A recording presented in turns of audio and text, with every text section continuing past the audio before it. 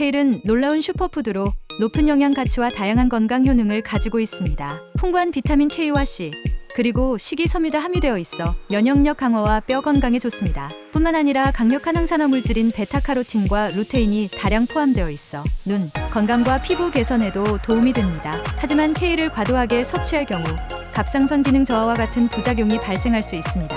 이는 케일에 포함된 goitrogen 성분 때문입니다. 따라서 갑상선 문제가 있는 분들은 섭취량에 주의해야 합니다. 케일 샐러드를 쉽게 즐길 수 있는 레시피를 소개합니다. 신선한 케일 잎을 잘 씻어 손으로 잘게 찢어주세요. 그 다음 방울토마토, 아보카도, 그리고 구운 병아리 콩을 추가합니다. 드레싱으로는 올리브유, 레몬즙, 소금, 후추를 사용해 간단하게 만들어 보세요. 모든 재료를 잘 섞어 씹히는 맛과 신선함을 즐길 수 있습니다. 케일은 슈퍼푸드라 불릴 만큼 다양한 혜택을 제공하지만 적절한 섭취가 중요합니다. 여러분의 오늘과 내일이 건강하고 행복하시길 진심으로 기도합니다. 영상을 시청하시고 도움이 되었다면 구독과 좋아요 부탁드립니다.